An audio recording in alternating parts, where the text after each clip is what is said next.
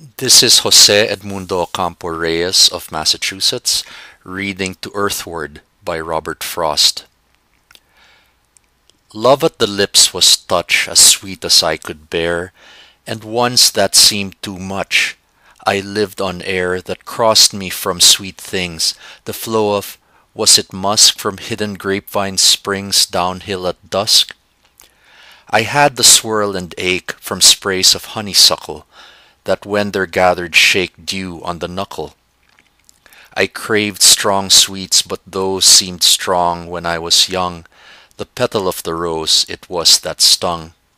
Now no joy but lacks salt that is not dashed with pain and weariness and fault. I crave the stain of tears, the aftermark of almost too much love, the sweet of bitter bark and burning clove.